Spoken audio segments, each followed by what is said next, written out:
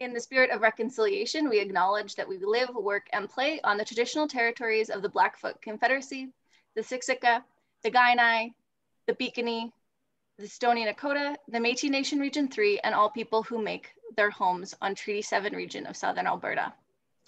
The What Works speaker series was developed um, in response to the feedback we received from you, our SAIT alumni, the focus of this series is on career development, industry connections, and how SAIT can be a lifelong partner in both your education and your career. A huge out, shout out to the many film and video production students on the webinar this evening. We hope this is an opportunity for you to learn from SAIT alumni and begin your relationship with us here in the alumni office. This evening, we are joined by two SAIT grads, Matt Watterworth and Scott Westby. We are joined by Luke Azevedo from the Calgary Economic Development. And our moderator for this evening is Chris Giardino from the Film, Video, and Production uh, program here at SAIT. I'm looking forward to learning more about Scott and Matt's recently released film in Plainview and what's new in the industry in Alberta. To those who submitted their questions in advance of this event, thank you. We received some really interesting ones, so I'm really excited to delve into that. I'll be keeping an eye on the Q&A area throughout the conversation. So we encourage you to post questions in that box throughout the hour. With that, I'd like to hand it over to Chris uh, to start the conversation. Thank you very much, Madeline. And I guess I'll also open by saying thank you to everyone who signed up for tonight and uh, coming to this panel. We really appreciate your participation and I hope you find this uh, very fascinating. I know I'm certainly looking forward to it. I would like to do sort of start with each panelist individually and get them to explain a little bit about more about who they are and how they function within the uh, the Calgary community of filmmakers. But also, also when I go to Matt and Scott, also tell us a bit about the film. I'll start with Luke. I'm Luke Azevedo. I'm uh, Vice President of Creative Industries and Film Commissioner with Calgary Economic Development. Um, my job entails um, a variety of things. Uh, first and foremost, um, marketing and sales of the region uh, for film, television, digital media, and gaming, uh, as well as uh, advocacy work with um, the provincial and the, the federal governments as, and the municipality. Um, my team at Calgary Economic Development is the one window access uh, to permits, access to buildings, um, and activity that is uh, derived around film and television. And so we play a variety of different roles um, from attraction to facilitation um, to then the activation of the projects and then work with, uh, with gentlemen like uh, Scott and Matt when we have opportunities to help grow and develop um, our local talent and give uh, these gentlemen and others as many opportunities as we can for them to be able to tell their uh, Alberta stories to the world. Thank you very much. So it's safe to say if someone is in the film industry in Alberta, they'll be encountering you at some point. Fair enough? Um, probably, yeah. no, thank you very much. we'll go over to uh, to Matt. Hey, is this uh, am I, is my sound still good? I had a bit of an issue before. It sounds good on my end. Awesome. Okay. Uh, so yeah, I'm I'm Matt. Um, Scott and I graduated the film and video production program back in 2008. Um, I did some work for the uh, the amazing 724 Films right after school. Um, uh, Scott and I both sat on the board of the Calgary Society of Independent Filmmakers for many years. I'm now currently a member of the Alberta Media Production Industries Association uh, and uh, love building community. Um, I'm doing some work with CSIF right now as well as, as a sort of interim staff member. Uh, so I, uh, and then of course, as a filmmaker, um, you know, Scott and I uh, started making short films together, and that evolved into making some feature films. And our first feature film was in Plainview, which is up uh, again in my background there. So, um, yeah, hopefully people have had a chance to to check it out. I saw some people uh, were using the, the the the, coupon code, so uh, and others have been using it today. So I'm sure you haven't had a chance yet, but looking forward to to hearing thoughts or or uh, having people enjoy it after the fact as well. Thank you very much, Matt. Yes, we certainly have a lot of questions of uh, students and alumni who are very curious about how you went about making the film and so forth. So thank you. Scott?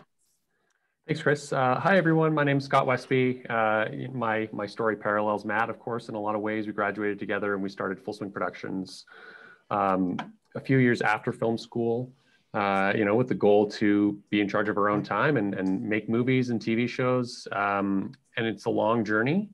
Uh, it's a hard journey, and and you know Luke has been a massive help uh, in that journey, and that's a big reason of why uh, we're happy to have him here today.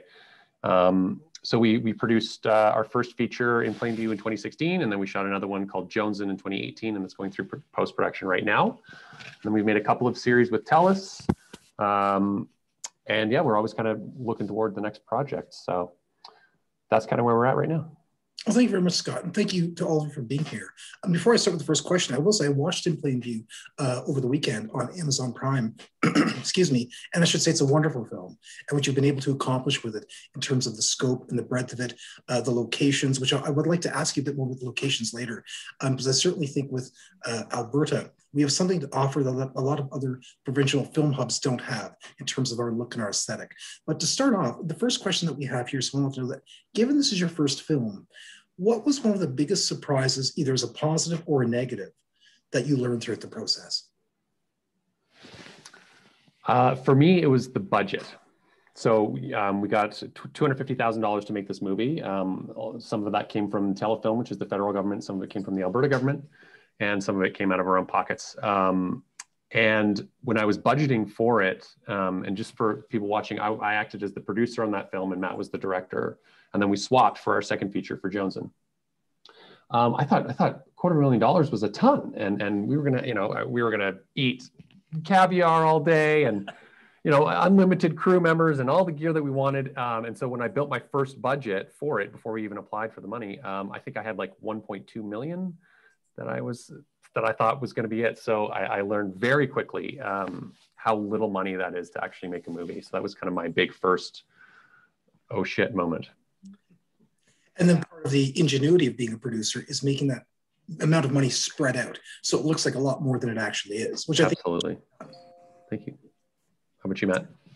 Uh, it's going to sound cheesy, but but honestly, it was it was surprising all the support we had. I mean, Scott Scott, I, I steal this from Scott all the time.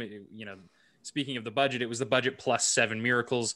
One of those miracles was was Luke and Lissa and and, and the office um, helping us find some incredible locations that we really couldn't have made the film without. And and that goes for the crew and the cast and everybody just poured so much uh, of themselves into this film and and it just wouldn't have happened without without so much of that support. So I knew we would get some. I didn't expect how much we would get. So it's pretty incredible, including yeah. SAIT as well. So many SAIT um, alumni and students uh, were part of the process as well. One of the things that you mentioned is how it was funded, you know, partially out of your own pocket, partially through Telefilm, different grants and funding bodies. Certainly the financing for films, feature films in particular in Canada, is very different than what you might see with the American model. Can you take us through a bit of that process of the whole the applications? I know some of the students are learning that right now. What does that actually mean to sort of go through to apply for funding? And the other, I'd say, is a part B to that is it's not always guaranteed. Lots of applications come out. The competition is very fierce. Um, if a student does apply for funding or financing and they don't get it when they qualify, should they give up or keep going? Oh, definitely give up. Yeah. no, this is, you know what, that never changes. Um, you're going to hear no for your entire career. Um, I'm sure a lot of the people listening probably didn't make it into the SAIT program if they are students on their first try. Um, it just takes, it takes persistence. It takes resiliency. This, this industry, um, you got to have a, a, thick skin and a thick armor. Um, and that, that, that will never change. Um, I'm sure Luke knows that as well. So for as far as financing this particular feature goes, um, we applied for a, a, program called the Telefilm Micro Budget Program. Nowadays, it's called the Talent to Watch Program. And putting together that application, just the application was probably about two weeks of work for us. Um, and you're you're absolutely right. There's no guarantees that you're going to get it. Um, you know, it involved putting the entire budget together. Matt created this um, kind of a mood reel. Um, he had a lookbook that he did up. We put in a financing structure. Um, we had a bunch of key creatives attached to the project. So, so you know, we knew who obviously the director was going to be, but we knew who the cinematographer was going to be. We had our editor attached so that Telefilm could really see um, who the team was. And then the other component was, um, you know, Matt and I have, have backgrounds in marketing and social media that we kind of cultivated after we graduated from SAIT. and we put a, a pretty substantial marketing um, and promotion and distribution plan together. Um, and within our pitch video, that actually ended up being about half of our pitch was how we were going to take this film and put it in front of audiences. So, you know, an understanding of um, a feature film as a product for export is, is a massive, uh, will be a massive boon to you as a filmmaker and understanding that it is a business. Um, and what does that business look like? So, yeah, I'll, I'll shut up for a little while about that I mean, to be honest, I'm glad you mentioned. Um, that's the one thing that we try to reiterate is that on the one hand, you can have the best film in, in the planet, fantastic.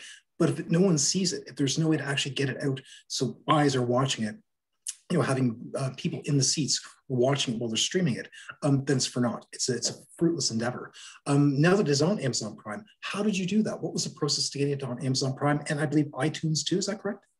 Yeah, Apple TV. Um, Apple yeah, TV. so we actually we we partnered with a distributor called Fabrication Films, um, who distributed the film internationally. So they they have you know brought it out in territories like Russia, um, the Middle East, South America, and that was all kind of done in partnership with them, and they took that on and they took care of it.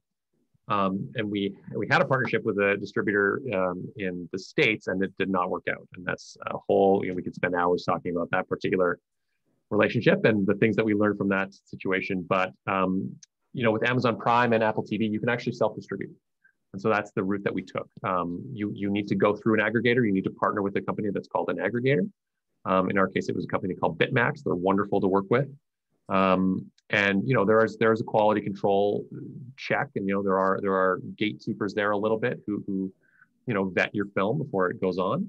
Um, but that was you know it's been really empowering to be able to put our film on Amazon Prime and, and reach the audience that we were hoping to reach. That's fantastic. And uh, I'll ask this one over to Luke now next. Um, one of the things that you both mentioned in talking about how Luke helped you out with the locations. And one of the things that I mentioned, you know, in my sort of preamble is that with Calgary and Alberta becoming a real burgeoning uh, film hub and being more and more recognized for what we have to offer, a lot of that is, I would say, part of the aesthetic of our, our terrain you know, certainly what we have to offer is very different than what you would see in, say, a Vancouver, or Toronto, or Montreal. Luke, can you speak to that of why um, this has become such a very attractive place for filmmaking and how you also helped with In Plain View? Well, the way that we um, that we see it is that our vistas and our backdrops are kind of our calling card here. So as you look at the mountains, the Badlands, the prairies, the foothills, and two municipalities of over a million people, um, all within a three-hour radius globally, that's pretty um, pretty uh, exclusive location to be able to do your production in. Um, given the fact that uh, that Scott and Matt were, were locals here, we wanted to ensure um, not that we don't help everybody, but the idea is that you've got your local storytellers, you've got folks that are going to be hiring uh, local Albertans to do their production. So you put in uh, the commitment that's necessary to ensure that their outcome is best as it possibly can with whatever assistance we could give them so they're you know they're knowledgeable folks so they had uh, a pretty good idea of what they were looking to do and then we started to figure out where and when um, also taking into consideration that, um, that as scott mentioned earlier that he had such a huge budget that became pretty small pretty quick. Um, so you know it, it, there's they they understood what they wanted to do. We understood where the the logistics were. We attached people to the project that could put together the packages could um, could create the environment so that they knew that what they were choosing could be filmed at within the capacity that they had the financial capacity and as well um, was going to lend to the betterment of the film. So that was the right location. So you have to connect your local talent here that understands the areas that understands what's necessary to be able to get in, the logistics, all of the pieces that come into play. Um, and uh, then at that point, they were able to choose what what fit best for the film. And as, as you saw it, um, it looked pretty damn good, I'd say. Um, represented Alberta very well. And so, you know, as, as I'm as I'm listening to uh, to Scott and Matt talking about, and Scott specifically on a couple points, about their process um, and about having their vision and, and the detail that they went into in creating their project. This comes into play right at the beginning, right? As they start to look at what they need, if they go off course with that, everything changes. Everything changes. So they, they spent a lot of time defining exactly what they how they wanted it to look, what they wanted to see out of it, and then adjusted accordingly as they went through the process so that they could refine it to the point that got onto the screen what you saw. So throughout that process, we just tried to assist where, where we could and make sure that they had access um, to the locations and to uh, specific uh, needs as they went through the process. And um, obviously it worked out very well. Um, congratulate both of them for being able to take this to, uh, to fruition. Thank you. And I guess I'll take those to Matt. Then you talked about having having to have a vision, started very earlier on. As a director, how did you how did your vision start, and how did you see it evolve over the course of the production? It's it's an interesting thing because it, you know it would be it would be nice to have over a million dollars or, or all all the um, uh, the the freedom right? Like it, we had some limitations money locations a number of things but you can also look at those as as creative um, inciters i guess uh, for lack of a better word uh, so so i think it's interesting to to be in the locations phase because you start to see the movie like there's a hotel in longview that was potentially going to be the the the motel that, that we were using. And i was seeing these scenes play out in this uh, in this particular space. And it ended up being way easier with the help of, of luke to to get uh, what is now the the the no longer in existence shamrock hotel. So uh, so to have that in the city and not have to worry about traveling everyone outside of the city and outside of the zone um, made it made it make way more sense and it was a great location um, but I guess to answer your question, what I what I mean is sometimes your vision has to um, fit into the the things that you have at your disposal, and so that's why thinking uh, as a filmmaker about what you do have access to can help you you know form that vision, um, and so you have to be flexible. Uh, I think. And one of the things I liked about the film very much is it definitely has a vision. It has an aesthetic. The film has a real aesthetic too, and I really appreciated that. Um, it was very, very well done. The next question I would say I'd put to all three of you to ask your opinion on it we have seen certainly in the past few months alone a lot of announcements that are very positive look moving forward for the Alberta film industry.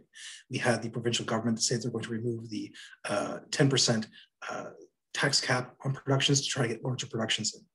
We had Walter F. White saying they're going to have the, the new studio space, uh, the Fortress.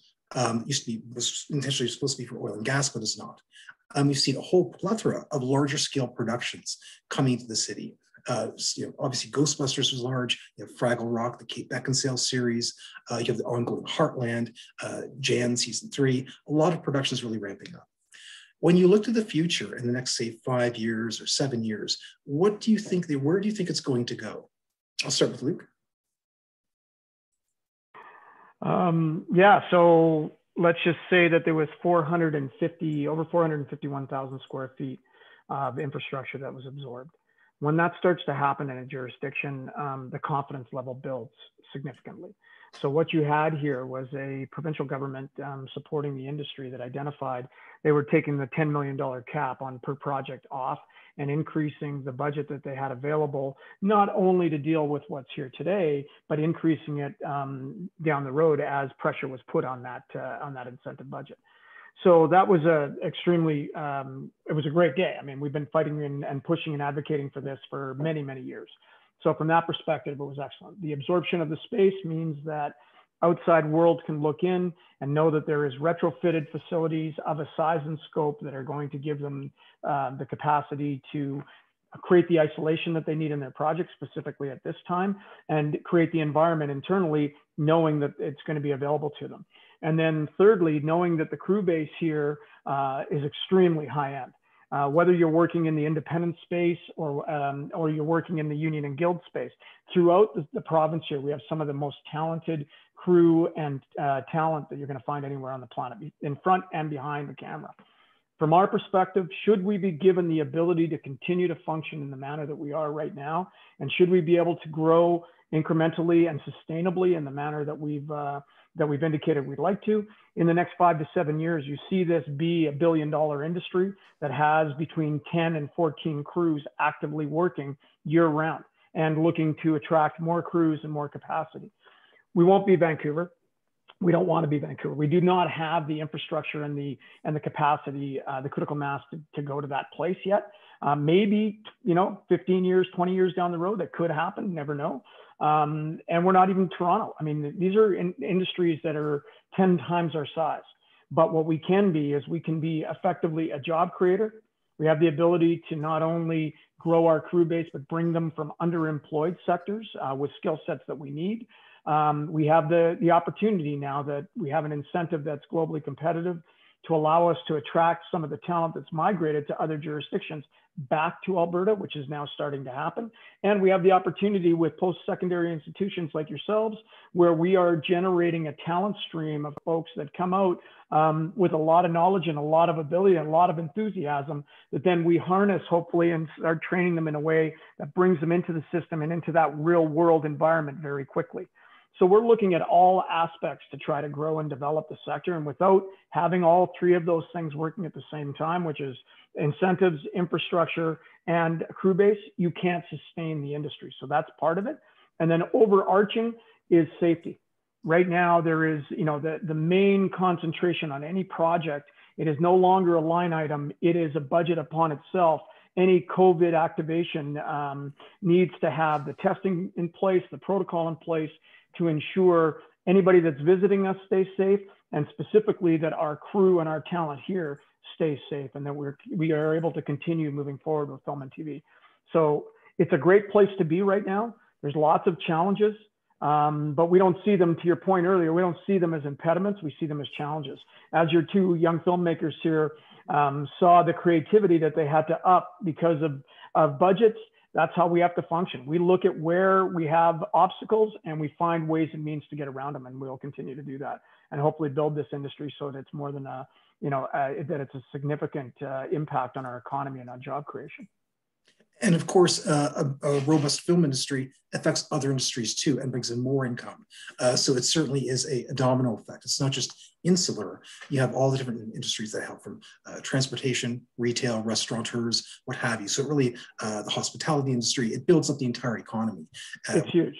It's huge. It's if you look at some of the uh, impacts that, that projects like Ghostbuster had on the economy of our small areas around the city, uh, you start talking about Drumheller, you start talking about Didsbury and other places where they came in and spent a significant amount of money. That was an impact on those uh, on those sectors.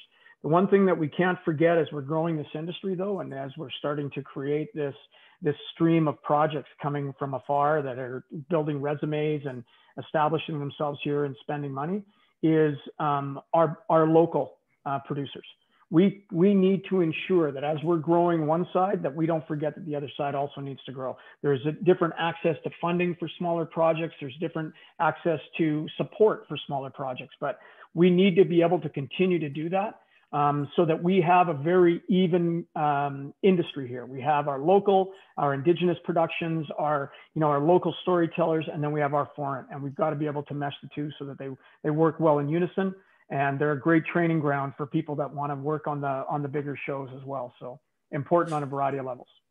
Thank you for mentioning. There's two things I want to come back to. I'll get to, I want to get to Matt and Scott's view on sort of the future. But the two things I do want to come back to that you mentioned are COVID protocols and also the local and independent, because I think that those two are very important uh, to focus on. But first, I'll go back to go to Matt. But how do you see the industry when you look at the landscape um, and you see, you know, five years from now, seven years from now?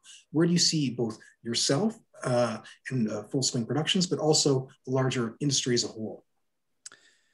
Yeah, I mean, I think uh, I, I, think I'll I'll I'll just call a spade a spade, and I think that there it's it's fair to say that there are some people looking at this, say, an announcement like The Last of Us coming to the province as well. What does that mean for me? What is I you know I want to direct, I want to write. Um, I want to make my own stuff. What is that? This how how does this benefit me? And I and I would say that that's a cynical view because there there are a lot of indirect ways that, that it's going to be a big benefit uh, as as as the industry grows, our community can grow. Um, we're you know something as simple as as having an even more skilled labor force around people who just want to work in the film industry. I mean, imagine being able to to you know say hey you just worked on uh, you know jesse james the assassination of jesse james. Would you come work on my film? And that person maybe says yes because they're an albertan and they're and they're here to work. I mean that's like world class trained individual working on your indie movie so there's that and that's just one of many indirect ways that that um, this is going to be a positive thing for for our local community.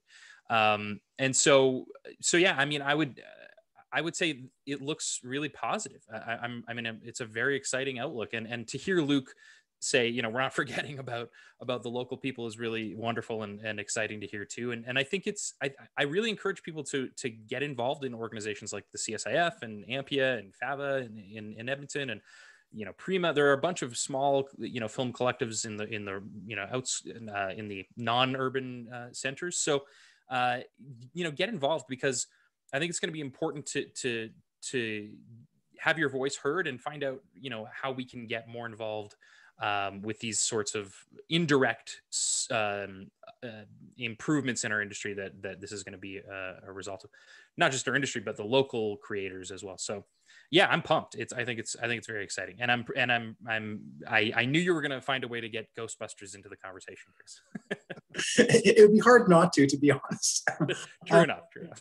uh, uh, but, but i really enjoy what you just said though about having a community and having that sort of, you know, it, it's one thing to say, you know, okay, but I can't get onto this production with the Pedro Pascal, but no, but it does affect you in another way. And as the community grows, so do all those sort of infrastructures grows where you have the more mingling or blending of the independent with the more, say, studio productions, for lack of a better word. I think having that community there where people can sort of uh, uh, interact with each other and meet different people, um, I think that's a very positive thing. Uh, Scott, what would your thoughts be as you look to the future in terms of the next five years or seven years?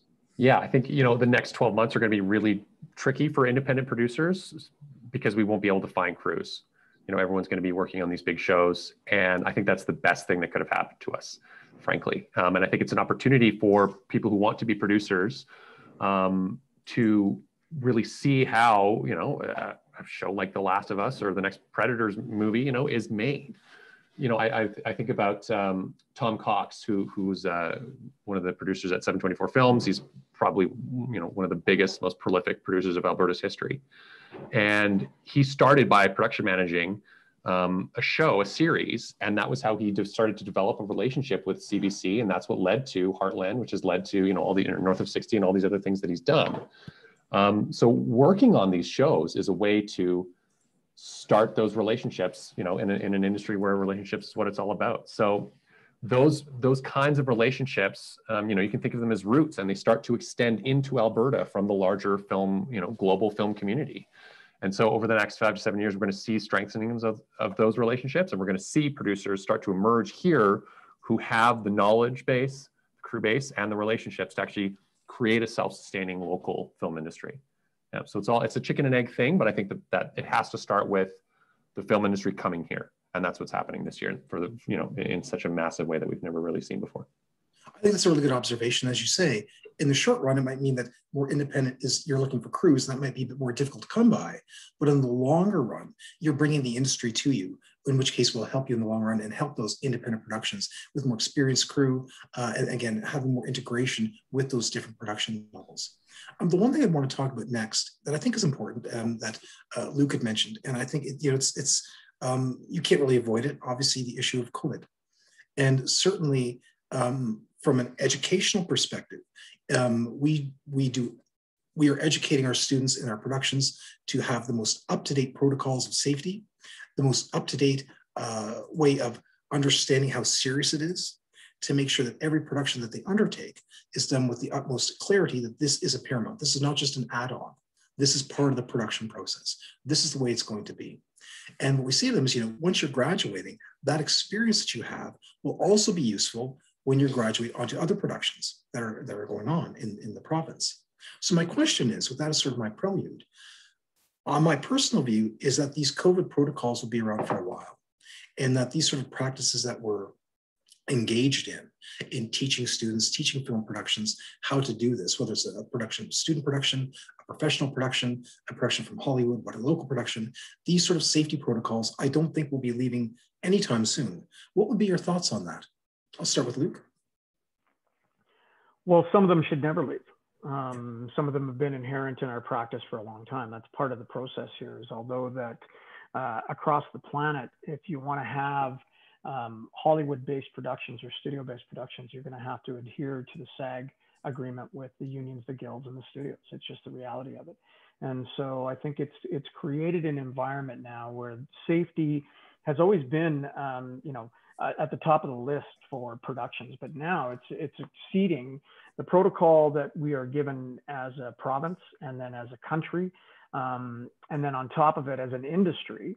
And our government has um, has given the opportunity here, as as most governments across the country have, for the industry to take the base protocol and then enhance it to the level that it needs to to ensure the safety of those that are um, that are on the set. So you're creating quadrants, you're creating the masking environment, you're creating a, a testing regime um, that identifies, you know, depending on which quadrant you're in, and the importance, and I'll use that as lack of a better term, the importance within the hierarchy of the production. If you're an actor or you're the director, you're probably going to be tested much more often um, than if you're a, a crew member that doesn't interact with those folks. So um, there's a variety of things that have come out of this that I think are extremely important to maintain. And it's how we look after each other because part of this whole process is you can identify protocol to the nth degree. You can be, and in some instances we are, um, have more protocol and more safety environment in place than you're going to find in some hospitals and some care locations. So that's just the reality of how the studios engage. But what has to happen and what's core to the process working not just here, but globally, is what happens when people go home. So there needs to be, you know, if we ever talk about looking after your sister and your brother, um, this is really what it gets down to because you're not wearing the mask to protect yourself. You're wearing the mask to take care of the person across from you.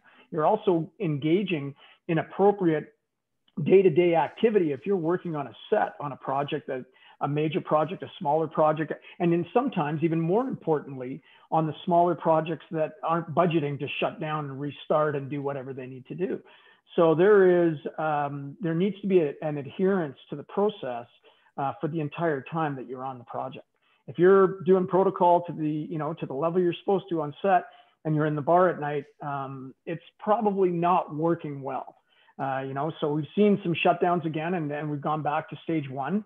Um, the film and television industry, uh, he says, touching wood, hasn't been enabled to continue to function because of the level of, of safety and protocol that's implemented, and that we're a business. Um, we, we do this on a daily basis, uh, and we have to adhere to them. That's just the, the call. So it's, it's important. And I don't want to see all of it go away. There's portions of it, absolutely, that just make it very tough to, to budget and be able to, to do a project appropriately. But parts of it, we've learned a lot we had the, the safety aspect of looking up after each other should be maintained as we go forward.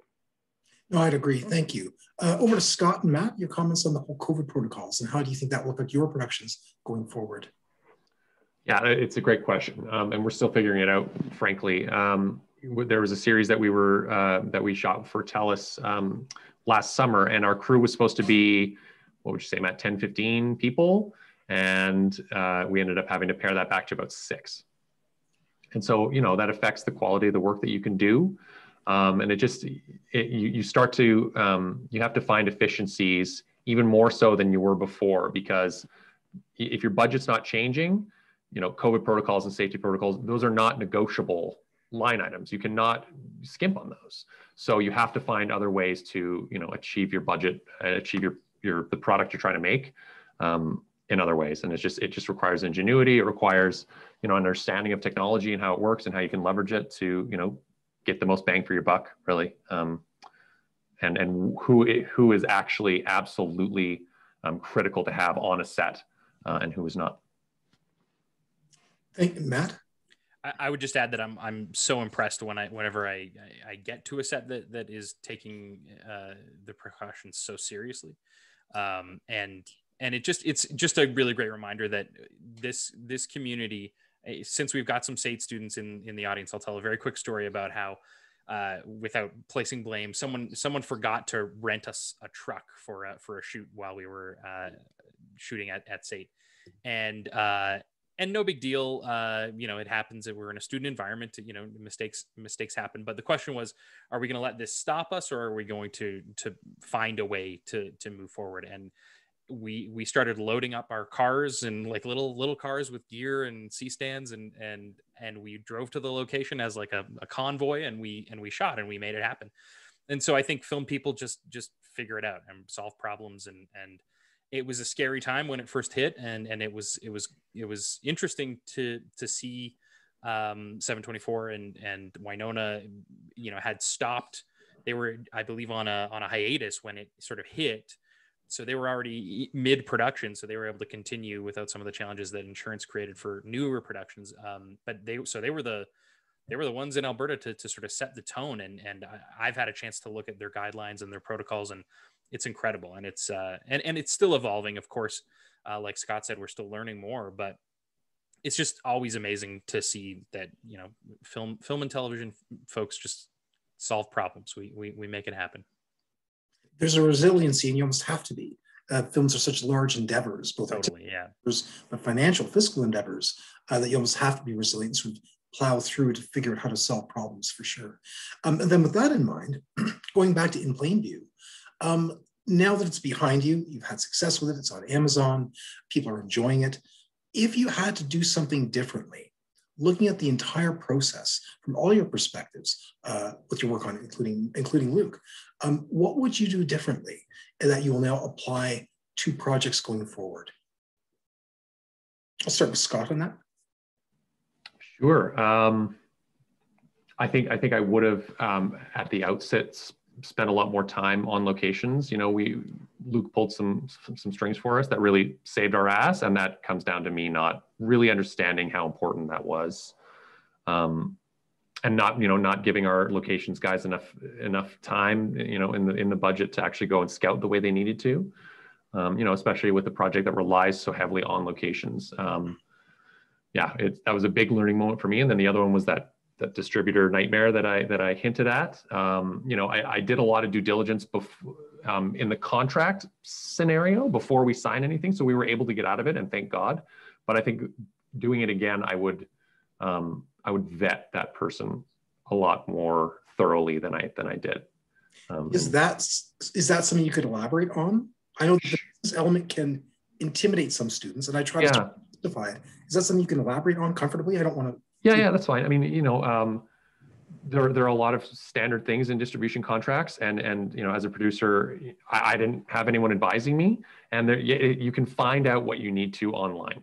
You know, it was about I think it was about seven solid days of me researching and finding out what clauses, what this meant, and and how was how should we be protecting ourselves. Um, but you know, what I should have done was was look at this this person that we were going into business with, and I should have picked up the phone and called every single filmmaker that he was working with to ask about him. You know, that was, I think, the mistake that I made was just like, oh, this guy wants to sell our movie. It's going to be great. And we met him in person and, and he seemed like a great guy. Um, he was he was an awesome guy. We had we had one of the greatest film meetings. That was what was so confusing about it. we were in LA hanging out with with producers. It was yeah. I, I just want to add, Scott. We did have a lawyer. We did we did and yes, of course. Not of course, not yeah. to limit the work that you no, did, no, no, which yeah. was insane. But we did it. We did have some help from a lawyer um, with reviewing the contracts before yeah, we signed. exactly, and and and help getting out of it too. He was he was wonderfully helpful in that in that regard. So yeah, that was those are my lessons learned for sure you know, and certainly glad to see that, you know, uh, on the one hand, there are lots of wonderful creative people in the film industry, but also, to, you know, students should know going out to also, you know, have your guard up, um, make sure that you sort of protect yourself, do your due diligence, and uh, you know, we've certainly all had those experiences, but I'm certainly glad that it worked out for you in the end. That's certainly a good thing. Sure. And that's and then that's not a unique thing to the film industry either. That's everybody. Everywhere. Yes, yeah. that yes, that's true too. Most every industry will have that sort of uh, element where you have to sort of have a bit of a guard. Thank you for adding it. That's a good point. Uh, Matt, would you like to elaborate on uh, what you would might do differently? Yeah, I, I, would also point out just from the dis- distribution angle, which I'm, it, it, it's the thing I know the least about and, and continue to learn uh, about. But one nice thing about uh, us self sort of self distributing in North America is we own the rights. So if we want to take it off Prime and do a TV deal, or or if we we package our next movie with it to for we, we own those rights, so so that's kind of nice to have control of that, and we can do that whenever we want. Um, a very quick uh, directing thing I would say is, you know, when you shoot a movie out of sequence, um, it's a bit easier when you shoot a short film because you have a more contained story. But you know, when you're not shooting a movie in story order, it's easy to forget the scene that came before and the scene that's going to follow. And I certainly wish I had done more uh, work on my transitions from scene to scene. Um, that's my biggest uh, my biggest wish is that I is that I had planned more around the way I was transitioning from moment to moment. I was too focused on the scene I was shooting, and I wasn't thinking about the audience experience as much as I should have been. So it was a big learning thing. Well, thank you for that. And Luke, was there would, would there be anything in the process that you would see uh, that you would sort of recommend changing uh, for for independent filmmakers moving forward? Well, it's tough because each project is different, right? And each filmmaker is different, and so how they're attached to their film. Um, everybody's very fond of that IP, and they want to be able to maintain it as much as possible. When you go into the distribution game. Everybody wants everything from you, and they'll give you bits and pieces at the end, and you're supposed to be happy with that because it's going out to the world. But you've just spent your entire life um, putting this thing together, and that's not the way it works. So the distribution realm since 2008, um, when the writer's strike happened, and um, distributors, a, a, group of them were no longer, it was no longer viable for them to be in the, in the marketplace because the, the projects just weren't moving the way that they used to. At that particular point in time, we saw a major shift in how distribution was done. What was allocated financially for it, what, uh, what their investment is, their skin in the game to the project, how the project was released, where it was released, all those things changed drastically. And to, um, to Matt and Scott's point now, I mean, you you can self-distribute you can create an environment where you're on a high level platform, um, some of the most watched platforms in the world, and you're able to distribute it and maintain your IP. May take longer to recruit at the level that you'd need to and how things function, but at the end result is that um, as we've seen, what did we just run out of? Um, you know, for eight months, we ran out of content. Uh, they weren't making any for you know three and a half months, and that's what happens. That's the impact that it has. So now the drive is for many um, many of the streamers is to have original content being made. So they pay to get the content made, or they buy your content from you, and they control all the windows and all the distribution that goes with it, um, and the return the way that um, you know these gentlemen have done is a, is a more difficult path, obviously more more uh, time intensive for them, but the end result could be much more satisfactory as they build their slate of projects that then at some point they can release in any way, shape, or form, and could potentially be the the crossover piece that they need on one of their next films.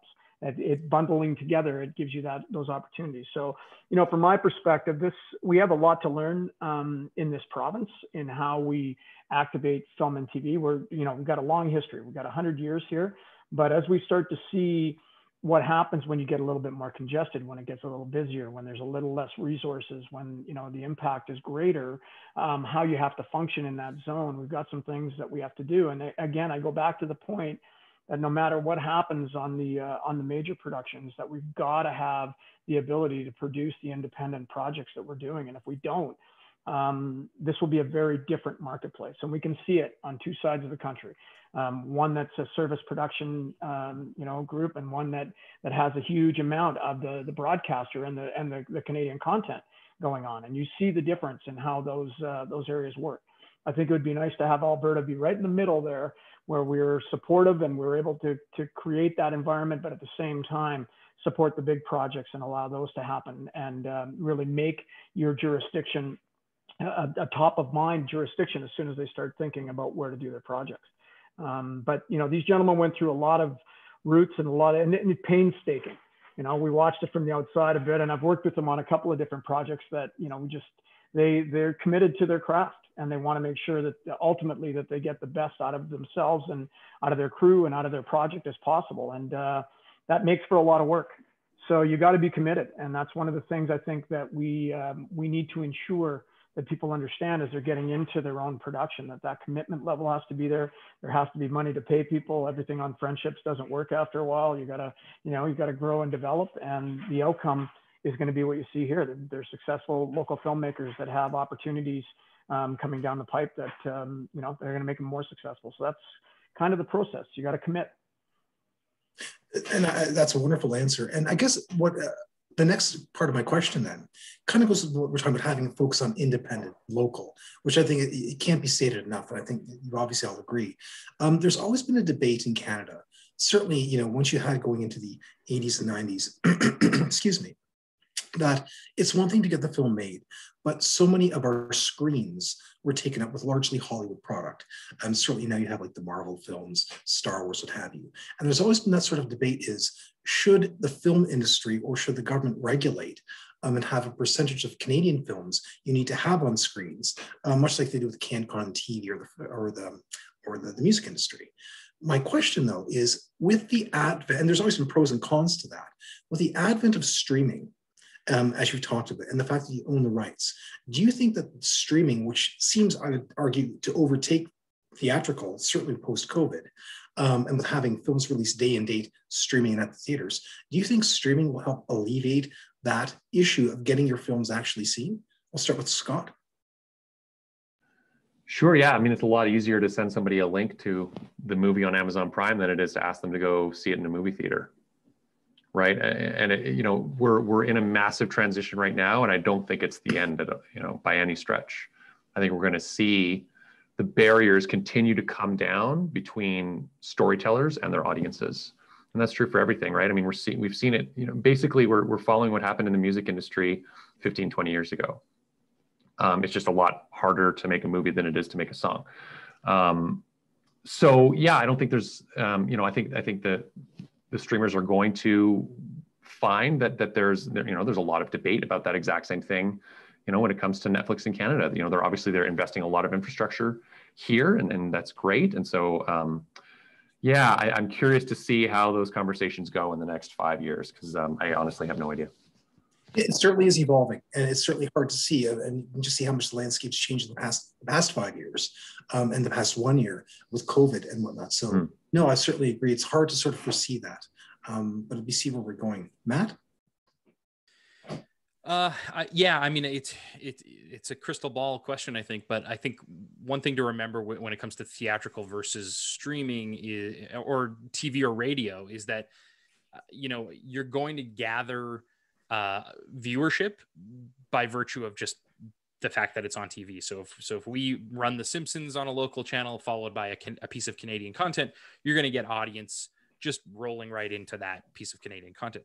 With theatrical, it's a different equation, right? Because you're looking up at the board, what's available to what, what can I spend my dollars on directly to see, and that's so. So it's a, it's a different question. Um, but I, I, think yeah, I'm very curious to see how how the governments throughout the world um, approach making sure that their own culture is represented in, in the streaming services. And I know that you know that's a big conversation that that is happening right now for sure. Yeah, it is a larger conversation, that's for sure, and it certainly is one that will, will continue to happen and evolve. Uh, Luke, your thoughts on that? How streaming might change things? Well, I think it already has. I think that uh, there's a couple of things that make Canada unique. Um, to the point uh, that we're, we're that uh, Matt just brought up is in regards to how you balance the streamer, ensuring that they're doing the Canadian content as well as foreign content, and how we create that. You go into places like um, going to India, um, where you have seven streaming services that are bigger than Netflix and Amazon um, that are all for local content, right? So you see throughout the world that the majority of the world creates for their audience in their country. We have a very unusual situation here. We have the biggest elephant in the room next door.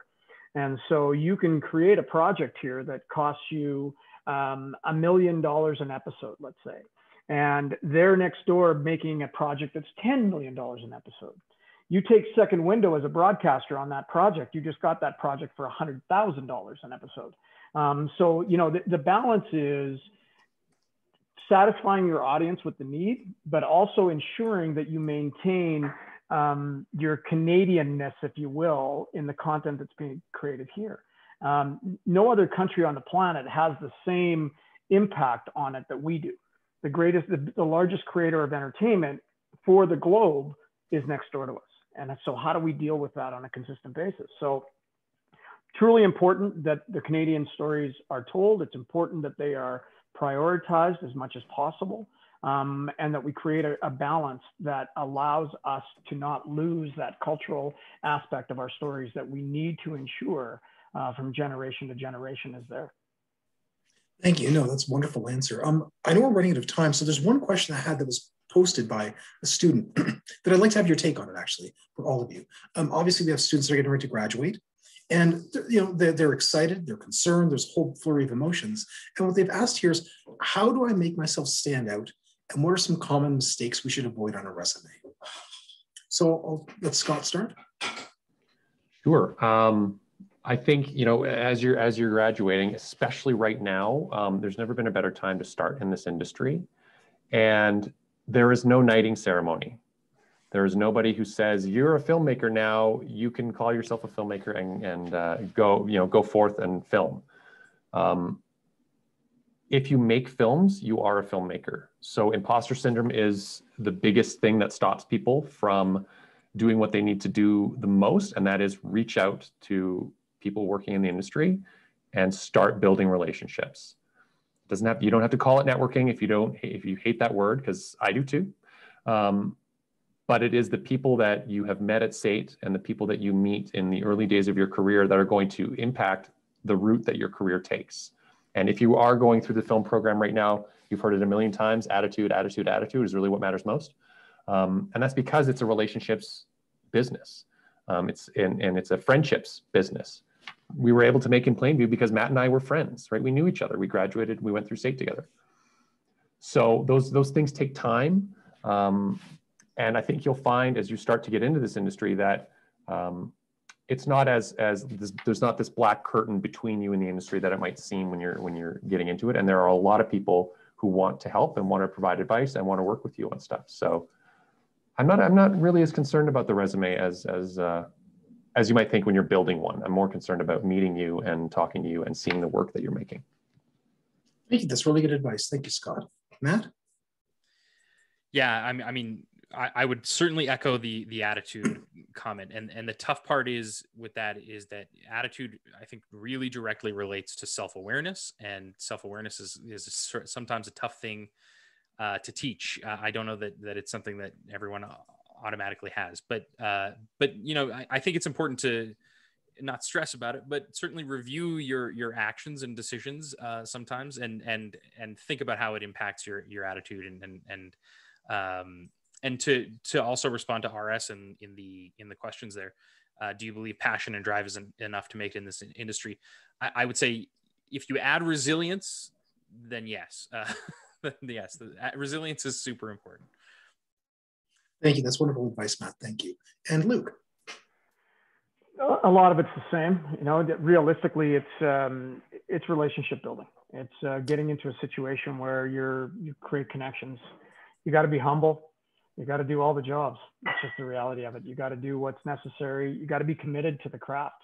And no matter what that is, no matter if you're starting at, at, at the, uh, the bottom end of a, of a project or you're halfway through or getting to the top, you got to be committed to it and you got to, you got to learn. Um, you know, people are going to, uh, in this industry, people are going to turn to those that they know that they can count on. If you've got a, a project that you are limited in the amount of people that you can hire, you're going for those people that you know have skill sets, have ability, have the right um, the right attitude and the right uh, you know take on what you're doing, and are committed to taking it from the beginning to the end. Um, so it's a, uh, it's an important process as you're coming out to ensure that you use the resources around you as well. There's lots of locations within our infrastructure, within our ecosystem that you can draw information from, um, that you can draw assistance from, that you can even draw um, financial assistance from. So there's ways and means to get out there. You need to explore a bit. You need to ask the questions. And you need to know that when you're coming out of your post-secondary education that you don't know everything. Um, and 10 years down the road, you need to know that you don't know anything. And 20 years down the road, you don't know much. So it's a, we're always, it's a constant learning environment here. And I think that we, uh, we get to a point where um, if you're well seen in the industry, people are going to want to help you if you do the right things, people are going to want to help you. This is the industry here in Alberta. You know, there's um, we're open. People are are interested in seeing the other person do well. Um, if they're a person that's appreciative of the assistance and the help that they're getting. So it's balancing it out. Thank you. That's wonderful advice too. I've advised we can have at least one or two more questions. One of the questions that came up also is, excuse me, we talk a lot about um, the production of the film and bringing the industry, um, but sometimes people forget it's the post-production. And some uh, one student had asked, do you think there's opportunity to have more post-production studios coming to Calgary and uh, so forth? Um, I'll let Scott start off. Sure. Yeah. I mean, we you know we do have some some fantastic post-production facilities in Calgary, um, and and historically it has been challenging sometimes because a lot of the productions that shoot here go and post somewhere else.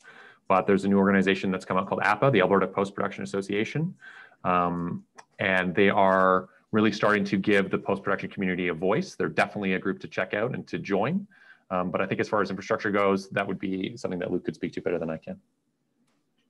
Okay, I'll go over to uh, Luke. Well, to to have um, a growing community, um, to have a growing ecosystem, post production has to be part of it. And to to Scott's point, what used to happen here is you you had a cap on any project that you were doing. So if you were doing an interprovincial uh, co-production or you're doing a, a, production here where you hit that cap, you're going to look at other areas either throughout the country or other locations to ensure you can uh, maximize your incentivization in those areas, right? So you can actually do it at the top level. Um, foreign producers, a lot of them want to be able to take the projects home with them. As soon as they're finished producing, they want to go back and sleep in their own beds. What has happened in the last little while is technology has allowed them in real time and in real color to be able to see exactly what is happening in an edit suite that could be in Calgary, that they could still be garnering the incentives to have our people working on that project and, uh, and creating it. So the post-production industry is extremely important to us. We need to ensure that we grow. And I think we're at a point now where we can in good faith turn to them and say there's going to be enough productions coming through here and with the quality of talent that exists here and the level of incentive that we have that we have the opportunity to grow. And to scott's point appa has been a, um, a driving force in this. There is a provincial uh, grant um, that is available the post-production grant that's available to enhance um, those production organizations post-production organizations to uh, be competitive and keep those productions here or be part of those productions during the time that they're here in a more substantive way because they bring some um, some incentivization to the table. So absolutely crucial for us at long term to ensure our post community, our production community, our effects community, our audio, all of those areas um, grow along with the rest of the industry. Thank you. That's certainly good to hear. That's certainly positive for the post. And with that, I'll go over to Matt. one of the things I appreciate about in Plainview is we talked about the vision, the, the visual aesthetics, the locations, but I also appreciated the sound going back to post-production. Can you tell us a bit about the sound design and creating that sort of feeling of desolation, that feeling of mm. desolateness and how you utilize the sound in post-production? Yeah, I mean, being that it was it was a, a first time feature for me, I mean, I, I, leaned a lot on on not just our, our sound team, but also our composer uh, Alec Harrison, and and the whole so so so the audible experience um, is is really great, and not to my credit at all. It's to those guys um, you know Frank Larada as well, uh, and and uh, Propeller Sound. They they do incredible incredible work. And what what if what I can point to is is learning, and what I learned uh, a lot about was how much story is told with sound. Simple things that we don't think about or don't register um, when we're watching a piece of content, like footsteps or a door opening. It might be subconscious, but it's actually telling a lot of story, and and it can be really really important to making a scene make sense and we don't even really register it. So, uh, so yeah, I mean, I guess the best answer I have for you is it's important, um, but it's it's it's it's a, it's a whole art form unto itself for sure. Well, thank you very much. I see that brings us to time, um, but I want to I'll let Madeline come back. But before I go, I personally would like to thank Luke, Matt, and Scott for their time and their insights. And I know that they'll be very appreciated by the students uh, who are watching this today. I'd also like to say, please watch In Plainview on Amazon. It's a wonderful film and something we can all really be proud about. So thank you. I know it was a, uh, a lot of work, but thank you for doing that work. It was really, really, really enjoyed it. And I certainly ask everyone to go and watch it. I'll turn it back over to Madeline. Thanks for moderating, Chris. Oh, thank you. You're welcome. Thank you, Chris. I feel like I could talk to you guys, or not talk to you, listen to you. I don't need to say anything. I could just listen to you guys for hours. One of the great things about my job is that I get to meet grads from all different industries. So I feel like I kind of get to lift the veil on all different sorts of worlds. So this has been wonderful. Thank you for your time. I would like to thank Luke and Chris. Thank you. And a huge thank you to Matt and Scott for joining us and sharing your experience. And congratulations on the film. What a great accomplishment um, we're really, I know all of us at SAIT love following uh, you guys and your company, and we can't wait to see what's happening next. To all the alumni, students, and staff who joined us, thanks for attending and thank you for your thoughtful conversation. Um, it was a really great discussion. I want to shout out to TD Meloche Monnex, Manulife, and Mauer who support all SAIT alumni events. If you have any other questions or there's something that you'd love to see discussed throughout our What Works series, um, please email us at alumni at sait.ca. Our next What Works event is on April 22nd. We'll be talking about the School of Digital Advanced Technology and the programs and opportunities for alumni that are looking to reskill and continue their education. So stay tuned for more info on that. Uh, with that, we'll come to a close. Thank you everyone for your great questions. Thanks for joining us and thanks you guys for a wonderful conversation. Thanks, Thanks for having us. Thank, Thank you. you. Thank you very much. Great. Take care. Thanks, You're well. Take care, everyone. Be well. Take care. Bye-bye.